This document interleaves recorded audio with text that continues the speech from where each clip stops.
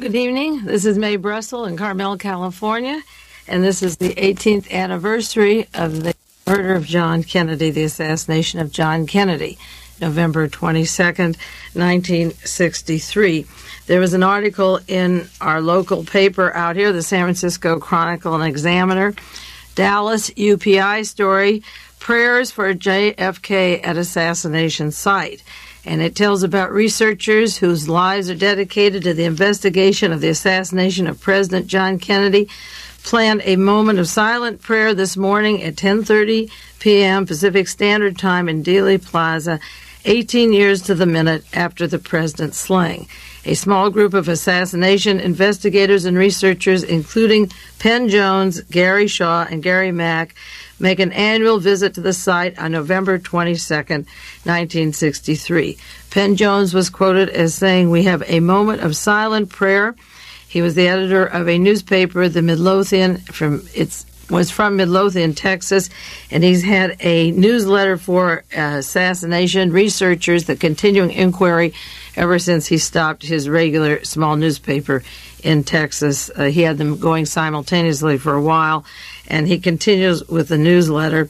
He had comments to say about the assassination and the research, and he goes to that site, as the article stated, every single year.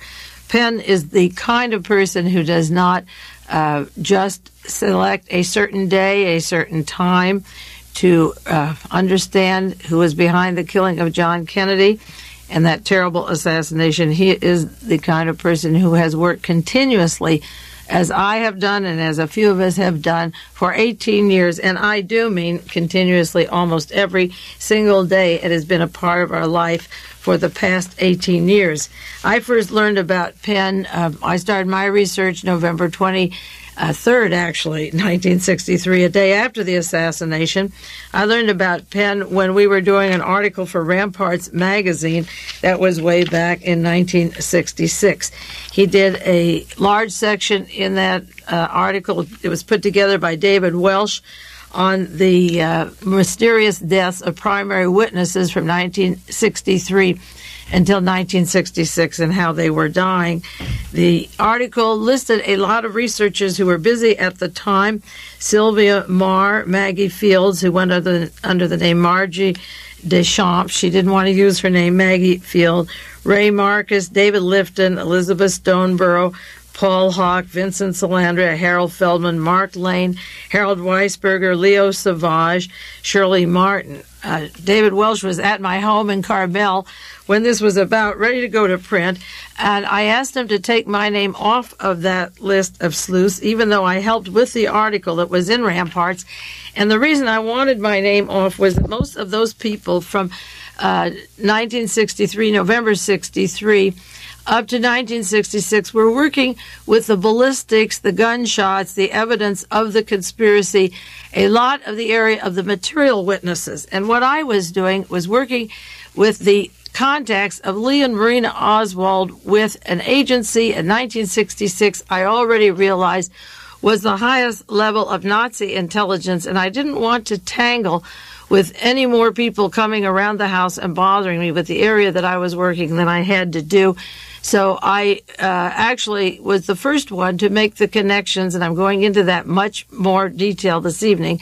The first person in the United States to make the connections of the Nazis and the role of the German Nazis to the overthrow of this country by killing John Kennedy and then later uh, Robert Kennedy and Martin Luther King. But by 1966, I was well aware that George de Mohrenschildt, a Nazi during World War Against the United States for the Germans, who also worked uh, right along and closely with the Rockefellers and Chase Manhattan and the network of Hitler's intelligence chiefs. He was the benefactor to Lee and Marina Oswald when they arrived in this country from the Soviet Union in June of 1962. So I asked him to please pull my name out of the article until I could get to the point where I was satisfied to say the things I'm saying this evening and have as little hassle as possible in the meantime. I did help with a lot of material in that article. Uh, if you have the old ramparts, it's on page 50. Uh, the section I helped write was about the evidence that was disappearing. This was two years after the murder of John Kennedy, and in a, uh, I made a statement. It is time to reopen the investigation. It is time that the impressive quantity of missing evidence be found and the mountain of withheld evidence be declassified.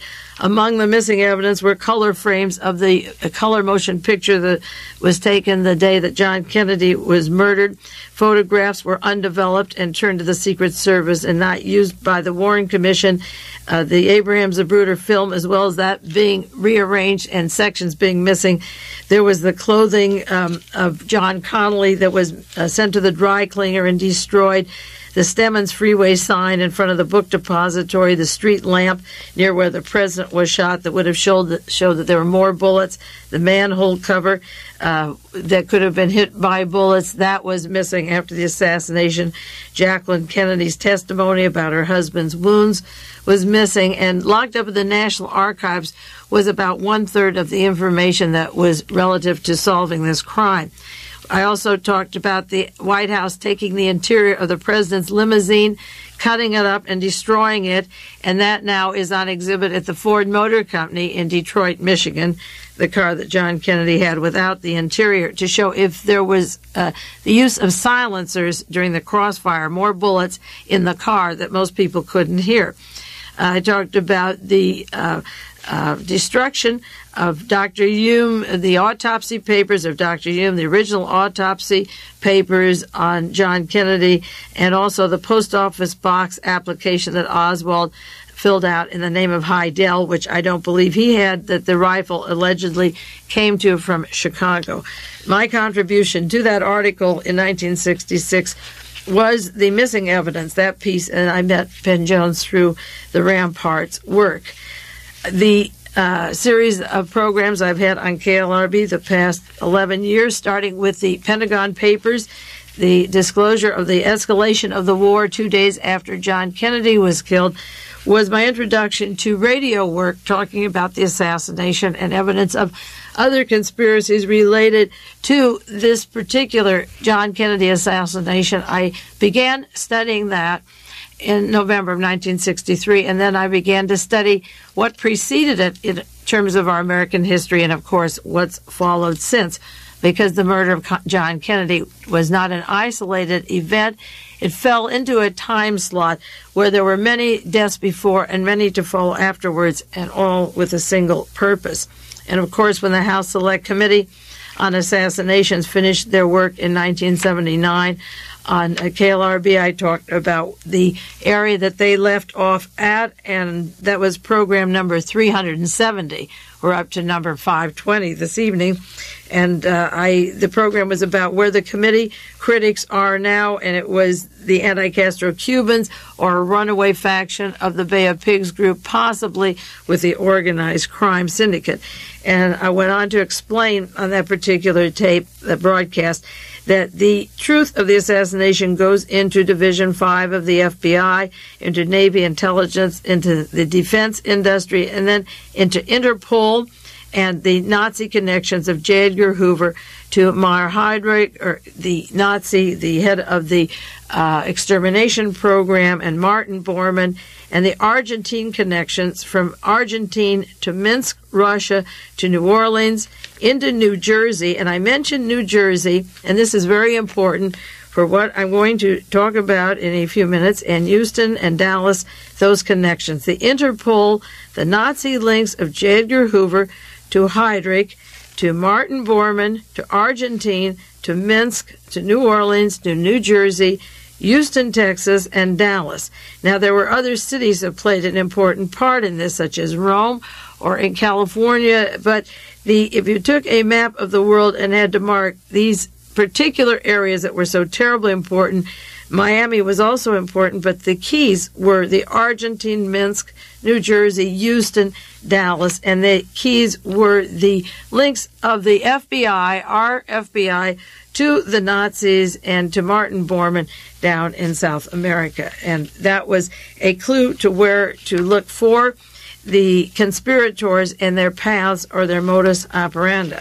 Before we get on to that subject in more detail, I did get a letter this week from a gentleman from the United States Army Special Forces, Fort Bragg, North Carolina. and he asked me, Dear Mrs. Brussell, please let me know if your most informative tapes are for sale to the public. I had occasion to listen to one a week ago and would like to get them if at all possible. Sincerely, Captain Ward from Greensboro, North Carolina. Also, send any literature you have on the assassinations. Thank you. That comes one uh, week or several days after being on the same airplane with E. Howard Hunt, and there were allegations that E. Howard Hunt recruited at Fort Bragg, North Carolina, for part of the assassination team that was used to kill John Kennedy. What I might answer to Captain Ward, I haven't answered the letter yet, is Dear Captain, I'd like to refer you to a letter I got in January um, 17, 1974, from a Mr. Frankenberry, James Frankenberry, who worked at Fort Bragg, North Carolina. And I described this on a tape in July 1980 and several times before that Mr. Frankenberry had worked at Fort Ord, California. He was supposed to go to Germany and um, Latvia, and then to the USSR for an assassination case for the Defense Department. But he was sent to Fort Bragg, North Carolina, where he was placed in a special unit, and he was working with men who would be involved in the attempted shooting of, Major General Edwin Walker in April of 1963 and would be involved in the crossfire of shooting President John Kennedy November 22, 1963. James Frankenberry claims that he was meeting somebody who he believed was E. Howard Hunt, and Hunt was recruiting these people from Fort Bragg, North Carolina. This is interesting because the last, oh, weeks and weeks I've been talking about Edwin Wilson and Frank Terpil, who recruited from North Carolina to send assassination teams over to Gaddafi in Libya, and that they were working directly with the CIA and Defense Department. I'm sure that what Captain Ward got was a tape mentioning North Carolina and Wilson and Terpil and that outfit that I will pass up this evening and get back to later, but it all ties in to the Kennedy assassination. Uh, we'll put them on the burners temporarily and go to a, another area that is terribly important and a story that just broke this week, Friday, two days before the 18th anniversary of the assassination of John Kennedy. And just before I get to that, there, I do want to say that over the years, people have asked me for books to read to understand who killed John Kennedy. Where were the forces behind it? Uh, who had the power to do it? How did they cover it up? If I had limited time and limited money, what would I read? And I have a bibliography if you want it. You can send a self addressed stamped envelope to me at Box 22511 Carmel 93922, and I'll send you this sheet because I made this bibliography up in 1974, and it's just as important or more important now for the things that I'm about to tell you than ever uh, you could imagine. I knew it was important, and with all the books out on the assassinations up to that date, and there's been a lot since, I still say in this order that these are the most important things to read, and um, the news that's breaking today goes back to these references. One is the book Project Paperclip by Clarence Lasby, put out by Atheneum Press in 1971 with the importation of Nazis into the United States defense factories, the universities, the hospitals, the decision making policies into space projects, into the ITT, remember the ITT, into General Motors, the corporations that finance Hitler, and Ford Motor Company in Detroit, and so forth. This was the bulk of the Nazis who came to the Western world and then all over Europe and South America and Asia and Africa who left Germany when they realized that the war was over. The 1945 Declaration of Peace was long planned for two years, and as soon as the peace treaty was signed, they were brought to this country and spread around the world. And the next uh, book is Cookridge's book, Gehlen Spy of the Century, put out in 1971 by Random House, describing Reinhold, Reinhard Gehlen, Hitler's chief of intelligence, of the Eastern Division who came to the United States to form our CIA and then went back to Germany to head the German intelligence after World War II. And then third, I listed my three articles. Why was Martha Mitchell kidnapped? That came out in 1972. The Senate Select Committee is part of the cover up in 1973. And the SLA is the CIA in 1974. Those were published in the Realist and give you an umbrella framework to understand what has happened to America since the end of World War II and even going back farther than that. And of course, Dr. Peter Breggin's work from the Center of the Study of Psychiatry on Psychosurgery, Psychiatry, and Nazism, and Freedom uh, publications put out by Ra- uh, uh, Vaughn Young in Los Angeles and in San Francisco, the Interpol connections of the Nazis to J. Edgar Hoover and to the United States government. Those are important articles that um, have to be read in books that have to be read to understand what really has been coming down for the past years. And then finally, I made a list of books for um, a magazine. They asked me to do this assignment. I wrote an article. It was not published, but the article, uh, the essence was what are the most important books to read to understand who killed John Kennedy? And these are in addition to Project Paperclip and Gehlen's Spy the Century. One was Oswald Assassin or Fall Guy, written by jo- Joachim Jost, and I never know if I pronounce his name right. It was written in 1964 and Rush to Judgment by Mark Lane, even though I can't stand the guy. It was a good book and it kept the subject open for a long time. Forgive My Grief, Volume 1, 2, 3, and 4 by Penn Jones, the same gentleman who gave the silent prayer in Dallas today. Document Addendum to the Warren Report by David Lifton. Farewell America by James Hepburn. Who's Who in the CIA by Julius Mader. Nomenclature of Assassination Cabal by William Torbitt and the assassination of JFK by coincidence or conspiracy, Bernard Fensterwald. Now, Fensterwald works with the CIA. He really has been a traitor to the researchers and to American history, but it's a good book. Like Mark Lane's book, it is a good book, and all of these will give you some insight into the murder. Now, this week, as I say, just two days before the anniversary of the death of John Kennedy, a story broke in the San Jose Mercury that will have repercussions all over the world. Uh, this particular writer, his name is Pete Carey. He works for the Mercury. He did a story on Stanford Technology and Frank Terpil, that character that I've been talking about for so long, who was on 60 Minutes a few weeks ago, if you had the luck to see him on that program. Uh, he wrote an article out here on Frank Terpil's relationship to Stanford Technology.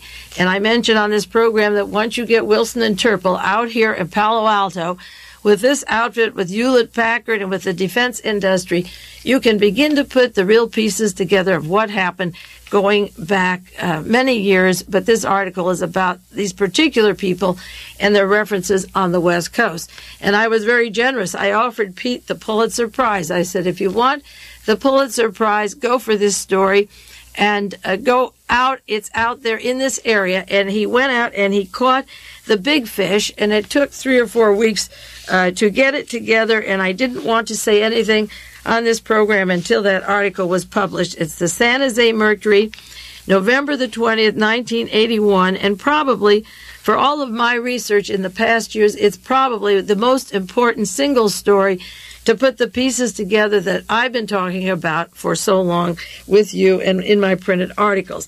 The title of the article is Ex Nazis Brilliant U.S. Career in a Web of Lies. I wrote down some excerpts of this story for you. I'm going to read them to you and break every once in a while with my own interpretation because for some of you it will have a lot of meaning and for others it may be a little too subtle to re- appreciate what a bombshell this is going to be for researchers around the country. I spoke to one gentleman who's published about eight books this evening about the story and he already wanted to get Pete a publisher. I'm sure that he will have publishers coming out of the woodwork as he proceeds on this story and articles for many days to come. The story is about a man, Otto Albrecht Alfred von Bolschwing, B O L S C H W I N G. And I mentioned him on KLRB two weeks ago, but not in relationship to this story, just his work with Adolf Eichmann in the Zionist organizations in Palestine. For the past 10 years, the past of Otto Albrecht Alfred von Bolschwing is breaking out, according to Pete Carey. He was president of a high technology investment firm with headquarters in Silicon Valley and Palo Alto. That firm was TCI, Trans International Computer Investment Corporation, and it had headquarters both in Silicon Valley and in Sacramento, very close to the governor, um, who was Ronald Reagan in Sacramento. Sacramento was the offices of this computer technology firm, and I believe it was Ronald Reagan was governor, and it went right into his administration and his offices, and I'm sure that's why the headquarters of TCI were up in Sacramento. This particular von Bolschwang is suffering. There's a picture of him. Don't feel too sorry for him. He has, according to the interviews, a rare brain disease that began in 1979. His wife uh, allegedly killed herself in 1978 when the story began uh, to come unglued. And I think about Martha Mitchell and Dorothy Hunt and some of these sacrificial wives. I would love to know more about how Mrs. von Bolschwing died just when the hot seat is coming down on her husband. He's now, as I say, is suffering what a rare brain disease that started two years ago that hit the brain stem. And it reminds me of the movie The Borgia Stick. When the researchers uh, study that movie, you see that particular agents, when they're close to home uh, and know too much, are put into an institution and become like vegetables or zombies. According to this article, he numbered among his business associates millionaires, bankers, and scientists. And in May 1981, the federal government began proceedings to deport him because he lied about his Nazi past. I don't think he lied. I don't. I just don't think they wanted to deport him. He held on as long as he could, and when his name came up in uh, relationship to another war criminal, they are wanting to deport Mr. Trippier, uh, uh, Richard Nixon's lifelong friend. Uh, then they had to get into the von Bolschwing case. Who is Otto von Bolschwing? This account that Pete Carey wrote is from court records, business files, and people who knew him. He worked for the Americans during World War II and after World War II while the war was going on. Similar to that Carl Wiedenbeck I talked about last week, an alias for Colonel Charles Willoughby. He's a German for, who was in charge of U.S. intelligence with Douglas MacArthur. And I have a list of many German Nazis who were working with the United States Army the same time they were working with the Nazis in Germany. One of them, of course, is Henry Kissinger. Otto Albrecht Alfred von Bolschwing was accused by the Justice Department of helping Adolf Hitler's persecution of European Jews. He was not only an associate of Adolf Eichmann, he was a superior and the architect of Germany's mass killing program. Eichmann died in Israel. This fellow's been working and living and just became ill two years ago. He was born October 15, 1909, of East Prussian nobility, an estate founded by his family in 1302. He went to school in Breslau. He was a member of the Nazi Party from the age of 24. That'd be 1933. He joined the SS, the Himmler's secret elite guard of police, six years later in 1939. The Justice Department states that as an SS captain, he helped plan the execution of Jews in Romania, and that goes into his uh, relationship to the Iron Guard. But he excluded Jews from the German economy, and he helped set up a bank in the Netherlands to take the real estate, the homes of the Jews, and give them the lowest price, uh, take their capital and put it in Swiss banks for Nazis. He helped develop anti Jewish propaganda to force their emigration from Germany. He forced it. He was an SD, which is a foreign intelligence member of the SS, and his cover was an a salesman for the Motor Trade Company. Now, Henry Ford and Porsche and Volkswagen were all heavy into the Nazi regime before and after the war. In 1938, he was in contact with Palestinian Germans. He worked in the Gestapo and he was doing extramural intelligence activities. He worked with members of the Jewish Haganah, and I've mentioned the Haganah on other tapes and in the book Treason for My Daily Bread. It's very important to know that the Haganah was the agency that allowed Martin Bormann to go to Palestine and then to South America. And the von Bolschwing had control of the Haganah organization in Palestine that was a cover for uh, Jewish activity, but was uh, sending the Nazis out of Palestine into the other parts of the world when the war was over.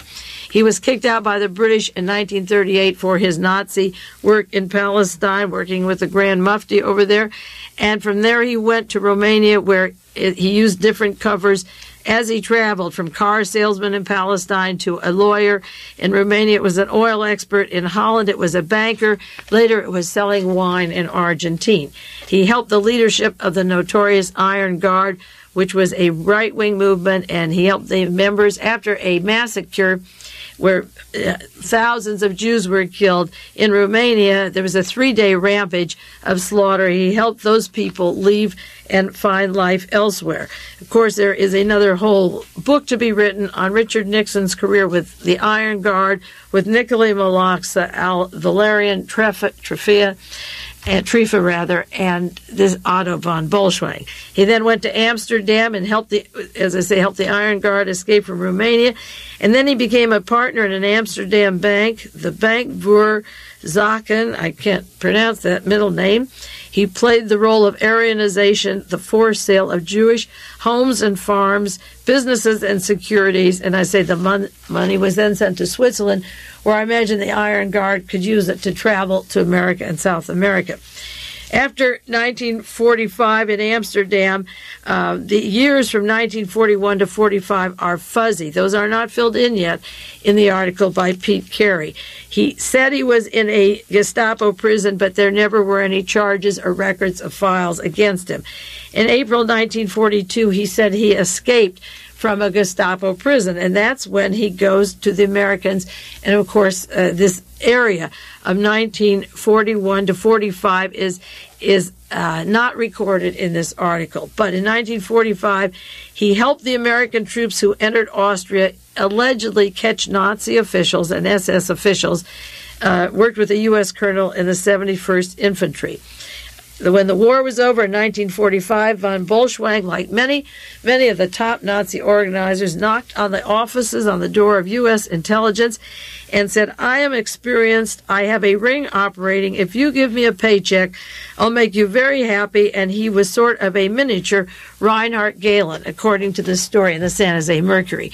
Now, he not only uh, made people very happy, and they not only gave him a paycheck, but he goes on to run a corporation worth $50 million for the Cabot uh, family later in Germany. But he said, I'll make you happy. And at the time, Reinhard Gehlen was chief of Hitler's Eastern Intelligence, about to come to the United States to form our National Security Council and CIA. So he was a mini Gehlen, described as a smaller Gehlen, until he takes over the Gehlen operation. Otto moves from the SS to the Gestapo, from Hitler's Gestapo, from Hitler's dreaded secret police directly to the Central Intelligence Agency, as did thousands of other Nazis, as I say, who came to this country to hospitals, schools, and agencies to become very wealthy people later. Reinhard Gehlen built up the spy network in post war Eastern Europe, and according to one unconfirmed report, and this is in the San Jose Mercury, Otto Albrecht Alfred von Bolschwing became the controller of Reinhard Gehlen's CIA operation after Reinhard Gehlen returned to German government.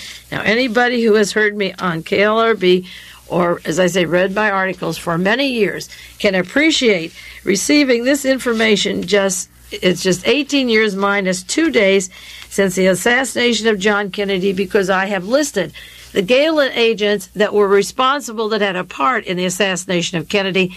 And this Otto von Bolschwing is a man who was over these people, who was their superior in the United States and before they came to this country.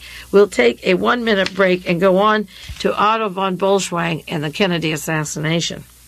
For those of you who have listened regularly through the years or even intermittently to these broadcasts that I've had and the research into the Kennedy assassination, uh, you must be as happy as I am to realize that, that the mini Gehlen, the man in charge of the Gehlen operation when Gehlen went back to Germany to head uh, the German intelligence after World War II, that this man was the controller of the Gehlen operation.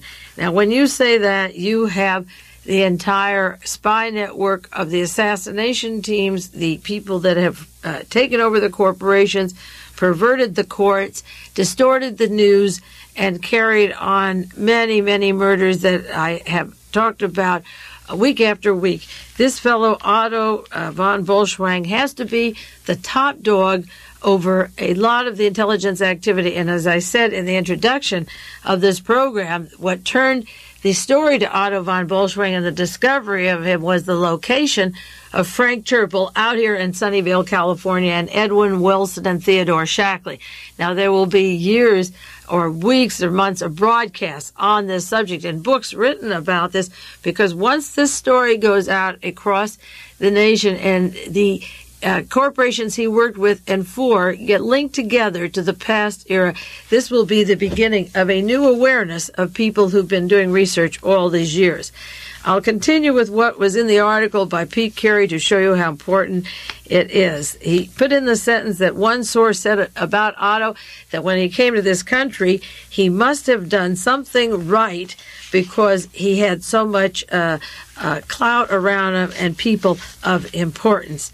Now, December 1953, von Bolschwing was staying in Europe. He was working for the OSS. The OSS became the CIA in 1947.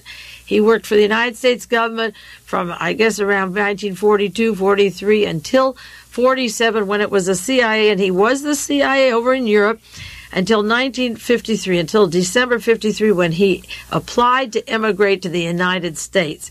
Of course, he has all the security to go through. He didn't change his name any more than Joseph Mengele changes his name when he comes to this country from Paraguay and travels. He used his name, and that isn't an easy name to forget Otto Albrecht Alfred von Bolschwing. Uh, you could put that through a computer and not find too many of those. February the 2nd, 1954, he arrived in the CIA. He had been working for the government for six years and no research has been done on this man, even though he didn't use any aliases. He became a United States citizen in 1959, and when he was secure in the United States, then his citizenship took a sudden upward turn. According to Pete Carey in the San Jose Mercury, after he was secure in the United States, his career took a sudden upward turn. He became the assistant to the Director of International Marketing at Warner Lambert Pharmaceutical Company. Warner Lambert, in case I don't have time to do it this evening, and I'll do it next week, uh, was the company that escalated the career of Richard Nixon. Now, Richard Nixon was fighting Jerry Voorhis in California in 1946. He was brought here. Voorhis was in the House of Representatives trying to break up IG Farben Chemical Company, and Farben had broken itself into hundreds of other concerns that uh, are probably and possibly tied hand in glove with Warner Lambert uh, Company. Uh, we have to look the the relationship of IG to Warner Lambert.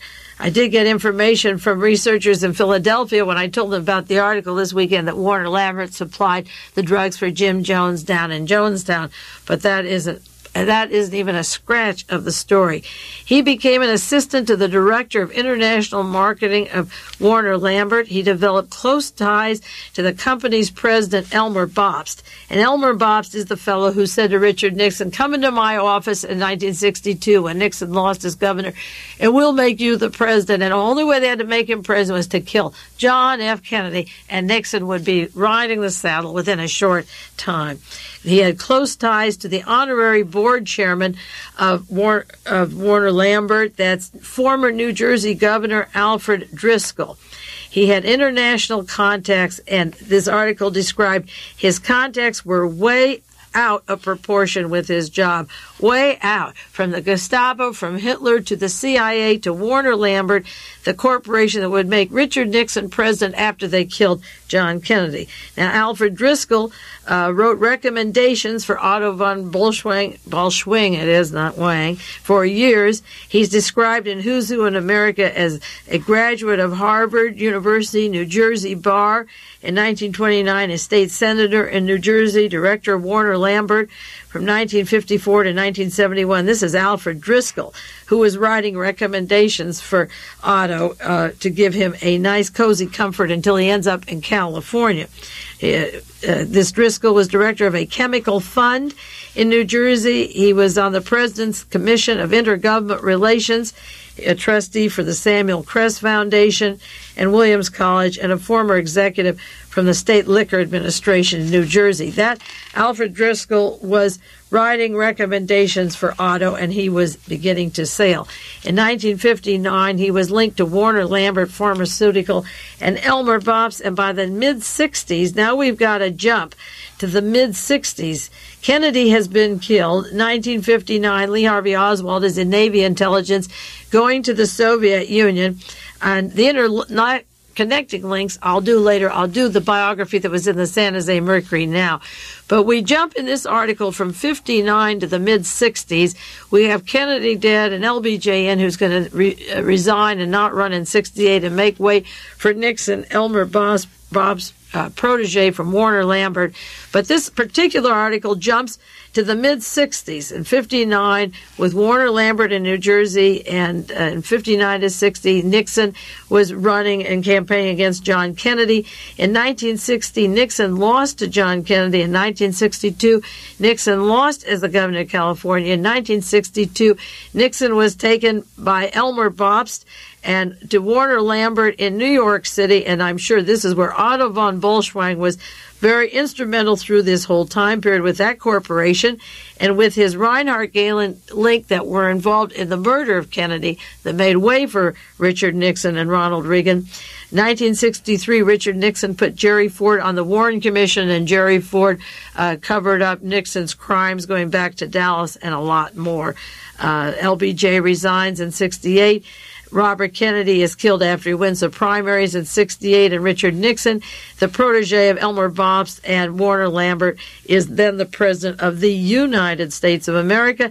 And Otto von Bolschwing is in California, where Ronald Reagan is the governor. And Otto's next job is to put a secretary for Ronald Reagan to screen his office, and that's Helene von Damm. She's in the White House now, but I'm jumping the article. Let's go chronologically. But just to show you what happened in those mid 60s, while Otto Albrecht, Alfred von Bolschwing was swinging with Warner Lambert and goodness knows who else. Now, Otto became a chief financial officer then for Cabot Manufacturing. It, it, had a German subsidiary, and according to this article, $50 million uh, carbon black factory for Cabot in Germany. I don't know what carbon black factory is, but I know what black carbon is. According to this article, as chief financial officer for the Cabot Manufacturing in Germany, a subsidiary, Otto von Bolschwing developed a $50 million factory for Cabot in Germany. Now, I don't know whether this is a front, whether it's an espionage operation, whether there is some funding that went into the Permindex operation that was to do all of the multiple assassinations after the 50 when the Cold War really began. There has to be more research done into the Cabot manufacturing and a $50 million factory that von Bolschwing was in charge of. For those of you who might have missed the first half of this program, I might say I am taking excerpts out of an article from the San Jose Mercury this week um, by Pete Carey. It was November the 20th, 1981. If you want the complete article, it's a long article, three pages, incidentally. You can send me for the copying and the postage a self addressed stamped envelope and $1, and I will send you the entire article in case I forget it later. It's Mae Brussell, Box 22511, Carmel, California. 93922. You should have this uh, article and then look up some of the corporations or the names in here, and it will give you a lot of leads, and there is material for years to come. The article went on the deal for Otto von Bolschwing to work with Cabot Manufacturing was financed through Thomas Franzioli, F R A N Z I O L I senior vice president of the First National Bank of Boston. So he goes from Himmler's SS and Adolf Eichmann's extermination in Romania and Amsterdam and Palestine into the CIA and with Warner Lambert as soon as he becomes a citizen, then with the Cabot Manufacturing in Germany, and then he gets his uh, financing through a Thomas Franzioli. This is the first national bank of Boston, and I have to do a lot of research into the Robert Maheu, CIA, FBI, Boston connections. The first national bank in Boston, senior vice president was financing this operation.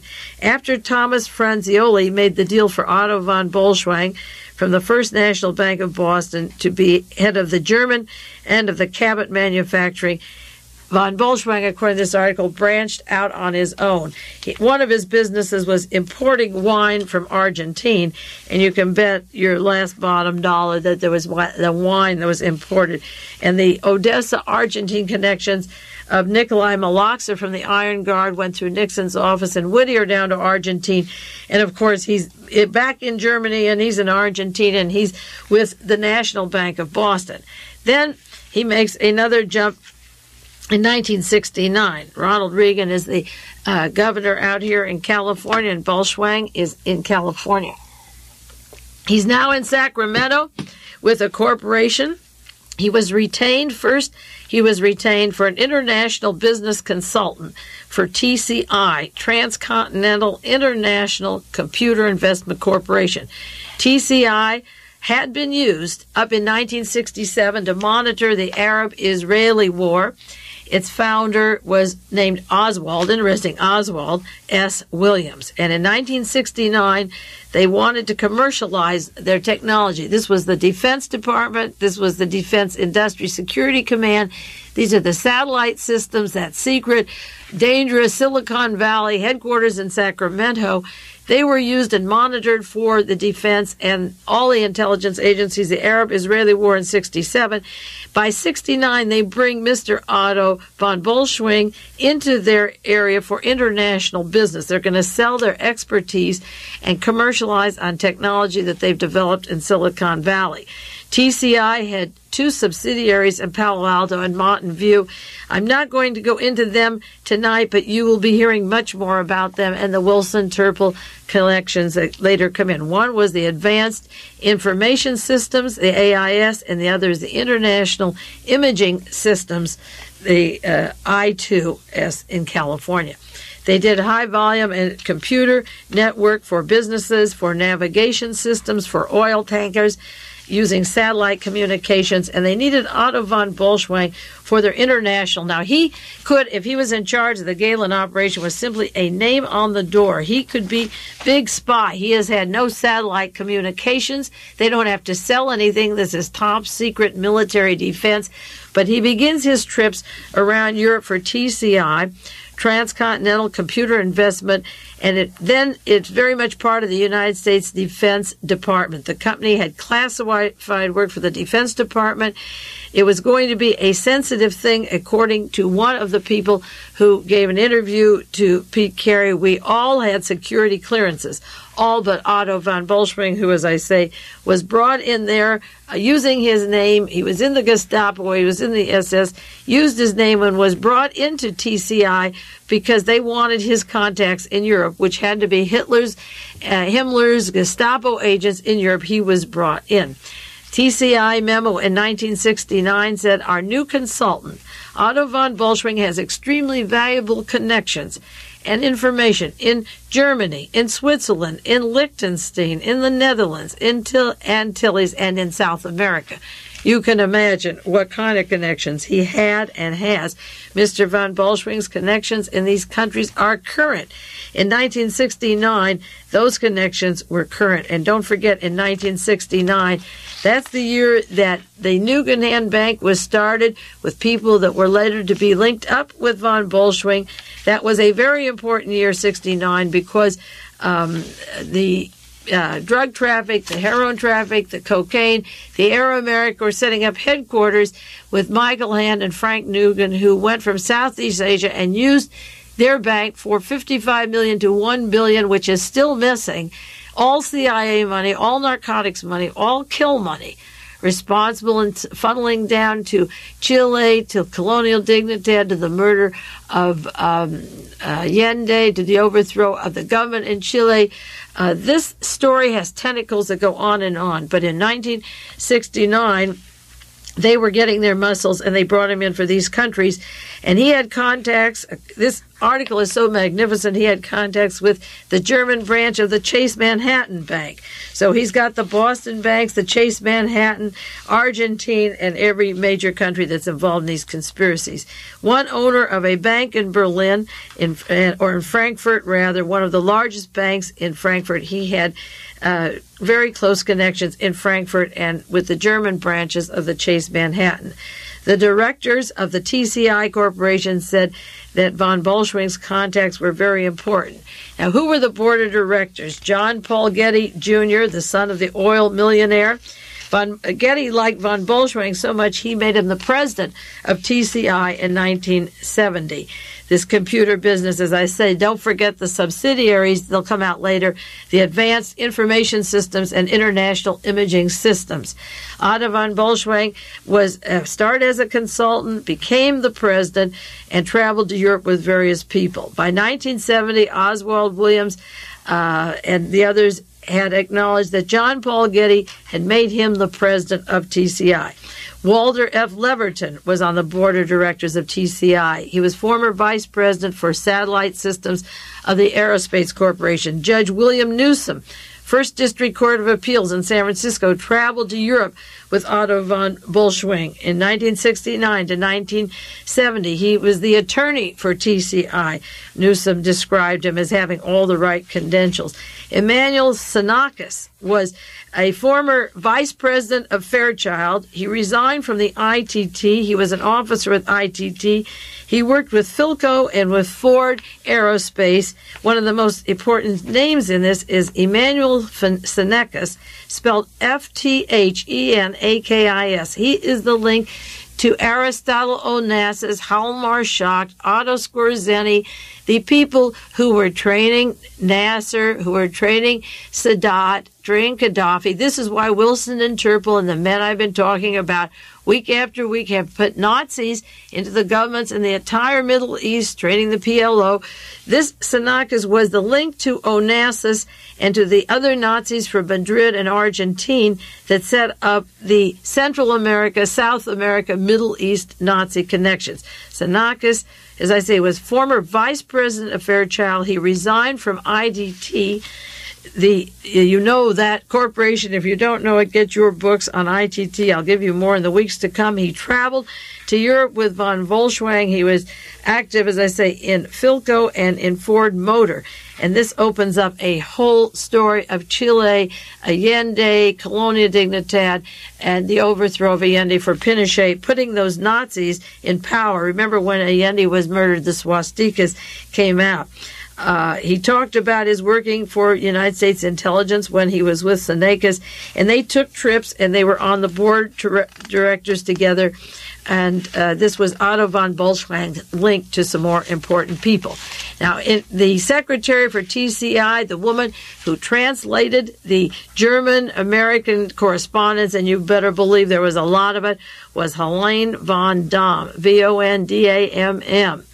And when Pete called me and, and asked me, What do you know about Helene?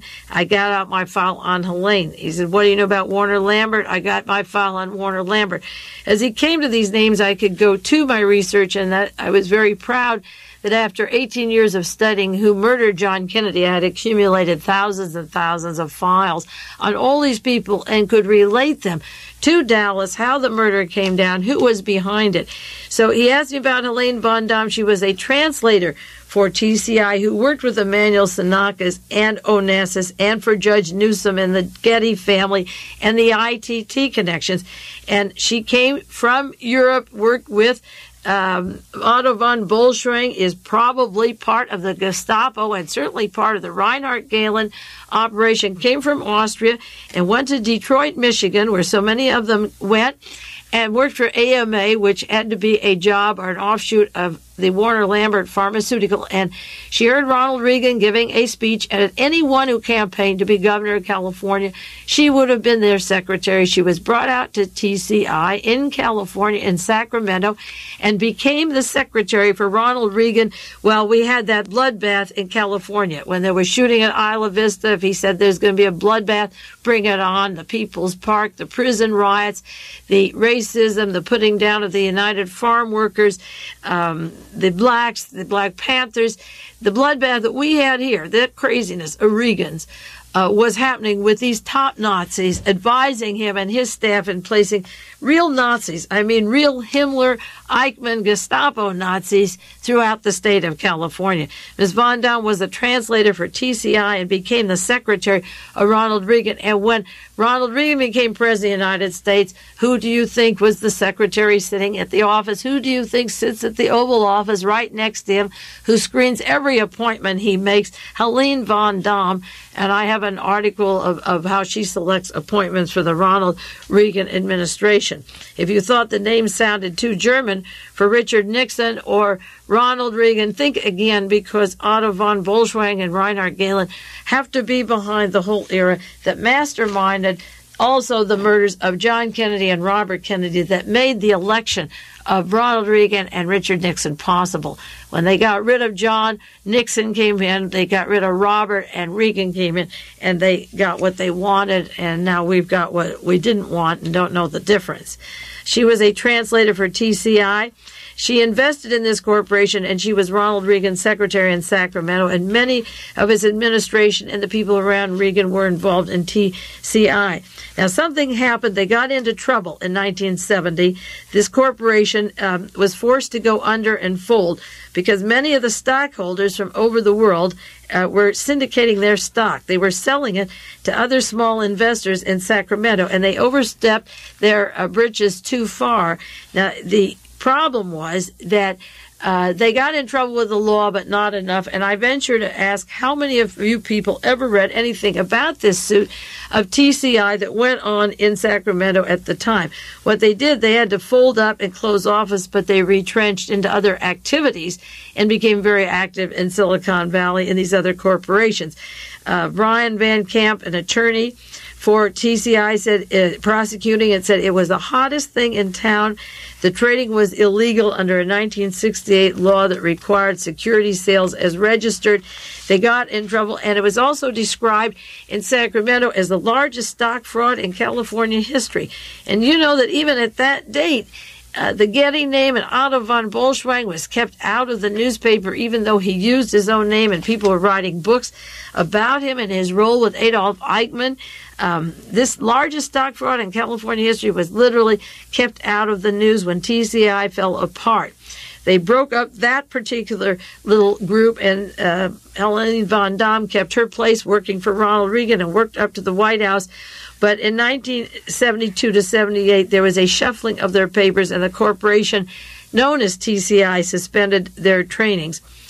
As I say, described as the biggest stock fraud in California history, and you never see the name of Otto von Bolschwing mentioned. Where did his name come out? Uh, over a while, also, he was involved with coal mining in Tennessee, trying to get people in Tennessee to put money into TCI to keep it going.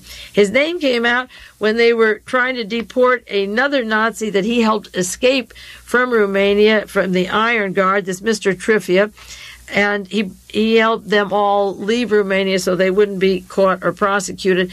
And there's been extradition uh, on Trifa. That's the gentleman that Richard Nixon had give a prayer before the Senate in the United States Congress. This war criminal who had committed so many atrocities in Romania.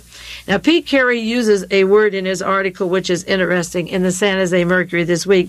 He said von Bolschwing admitted helping Trifa and others of the Iron Guard to escape from Romania in 1941 after the Jewish pogrom.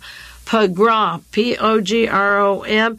Pogrom is not used often. That was the rampage in uh, Russia under the czars and in Poland and Eastern Europe, where they would tear into homes and kill all the Jews and massacre the families and cut them up and leave their entrails hanging out, rape and kill the women, the wives, and the children in front of the parents, and just ravage the whole place and leave. There were Jewish pogroms in Romania. When Jack Ruby was interviewed by Chief Justice Earl Warren and Gerald Ford, and he wanted to come out of Dallas from the jail to Washington and tell him who killed Kennedy.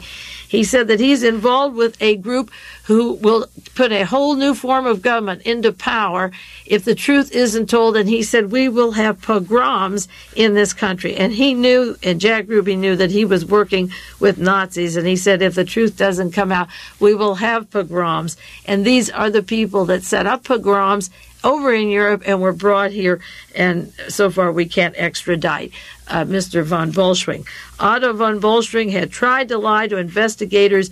They came out to see him. His name came up at the Trifa hearings, and they came out to see him in California in February 1981. And they said, finally, and he had lied when he came into the country, but I don't believe, not changing his name, that they didn't know the full truth just as they knew about Walter Dornberger or Wernher von Braun and other Nazis. They asked him, the investigators, were you a member of the Nazi Party? And he said, yes. I was a member of the SS Gestapo, he finally told the authorities. And with these words, according to Pete Carey in a beautifully written article, von Bolschwing's life in America crumbled. He admitted that he was a member of the Nazi Party and the Gestapo, but that wasn't the problem of von Bolschwing with his rare disease at the stem of the brain, given him one year before they come and say, Are you a Nazi? Are you a Gestapo? The point of all this is, on the anniversary of John Kennedy's death 18 years ago, is that J. Edgar Hoover worked with the Nazis and knew that these people were going to set up a another Reich and continue what went on in Germany before the war was over.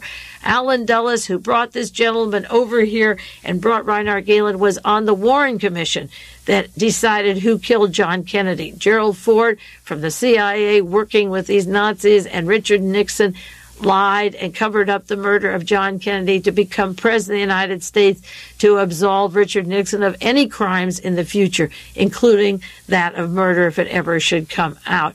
The Warren Commission was stacked with Mr. Russell, the watchdog of the CIA, Senator Russell, and other people that totally lied to the American people. The truth more is more in von Bolschwing in this particular article that came out. It does not say what he did those years up till after John Kennedy was murdered. Well, the years that he was in this country and working with Warner Lambert. There are missing pieces, and of course, this is a first article. This isn't a continuous article. And I already, as I say, spoke to somebody who wanted Pete Carey to do a book. He has enough here for a series, and if he does it right, and if we get these sheets out that go with these tapes to Congress and encourage him and encourage the San Jose Mercury to keep this going, he will win a Pulitzer Prize for this story. He brought in the big fish and these connections to the Gettys, to judges in the Bay Area, to Ronald Reagan's White House today, to the past people who were involved in the killings of John Kennedy and Robert Kennedy, to the manipulation of our process, the crimes by which you think you go to office and you select a president of the United States. You select the one they picked a long time ago that they guide their career through, and if anyone's in the way, they're murdered. You had to get rid of John Kennedy to make Richard Nixon, as promised, the President of the United States. Otto's career, according to Pete Carey, was strangled in a web of lies, working with the highest levels of American business. But his career is the story of America. It's the story of the United States. It is the story of pretending you don't know he's there. It is the story of the news media in Sacramento, the Associated Press, the United Press when TCI went over and under and not having his name linked. of the Defense Department having security for a person for the highest level of intelligence with his interconnecting links to the Gestapo, to Himmler, to the Argentine Nazis, working in Silicon Valley with those people who want to put you in space stations, to take away your rights, your freedom, your voting records. This is the 18th anniversary of the assassination of John Kennedy. I'm glad I carried it to this point. I worked 18 years on this subject, and I think the bottom line is here with people like Otto von Bolschwing and our American intelligence. I'm glad to be able to say that after 18 years, some of us researchers have come this far.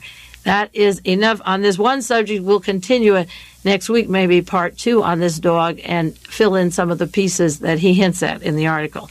This is Mae Brussell in Carmel, California, and I'll be back with you next week.